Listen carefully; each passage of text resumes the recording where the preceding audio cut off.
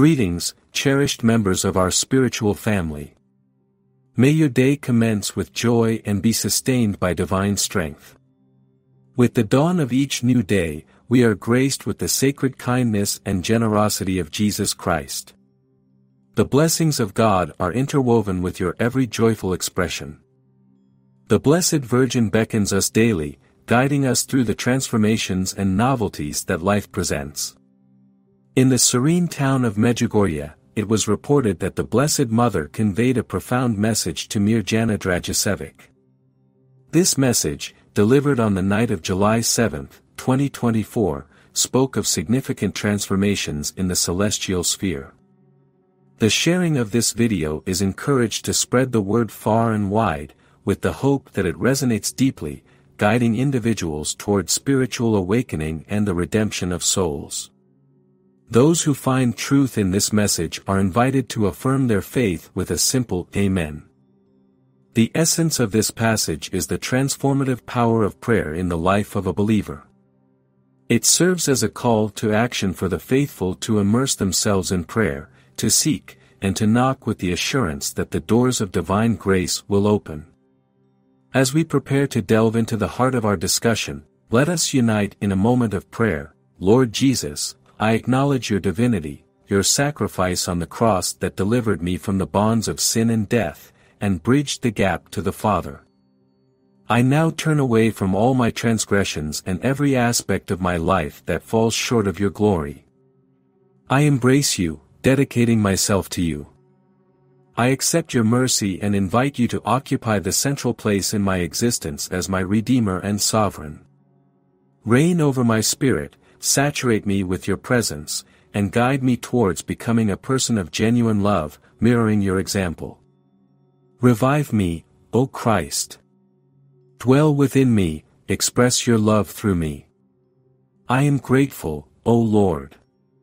In the name of Jesus, I offer this prayer.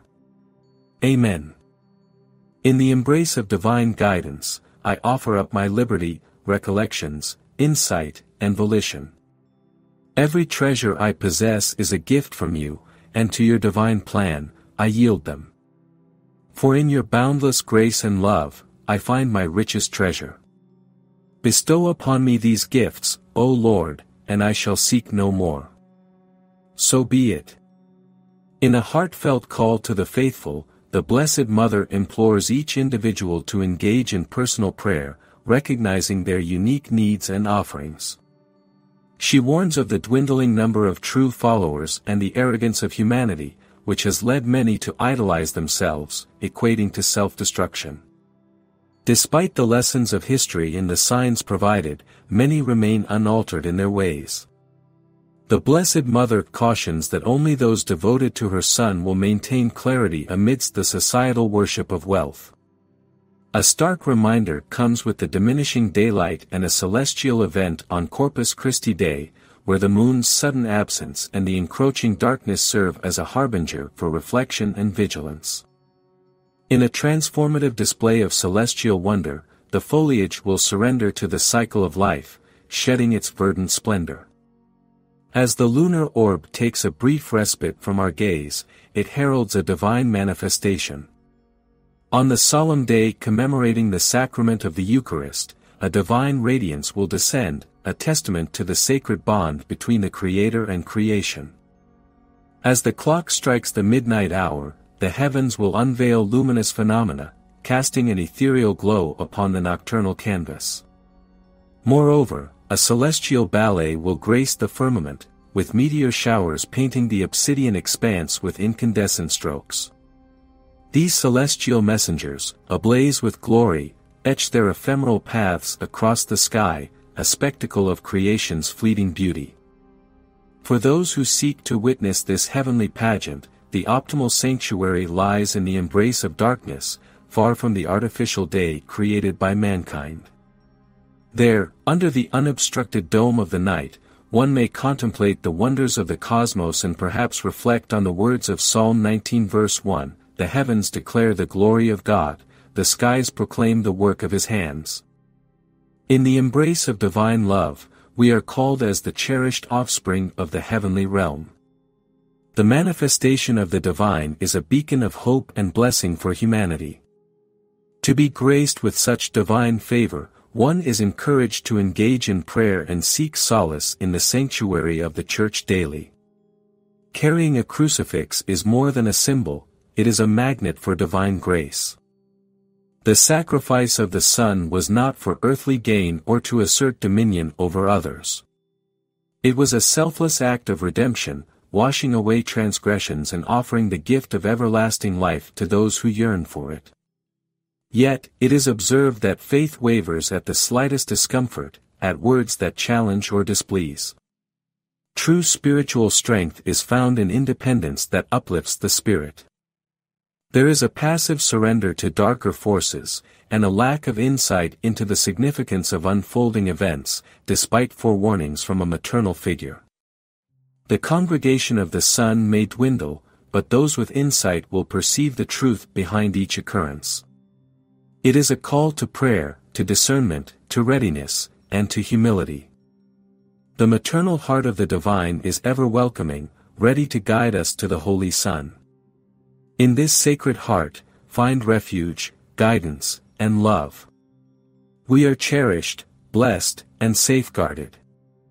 In the face of fear, we are reminded to stand firm in faith. Reflecting on the Blessed Virgin Mary, the Blessed Virgin Mary, revered for her purity and grace, was chosen to be the mother of Jesus without the stain of original sin.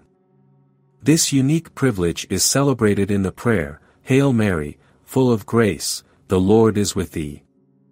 It is a prayer that echoes through time, honoring her immaculate conception. As we contemplate Mary's role in divine history, we are reminded of the prophetic words found in the Gospel of Luke, which speak of tumultuous times marked by natural disasters and celestial wonders. Luke 21 verse 11 serves as a stark reminder of the trials humanity may face, yet also of the heavenly signs that accompany God's plan. In these reflections, we find solace in Mary's example of faith and obedience, which guides us through life's challenges.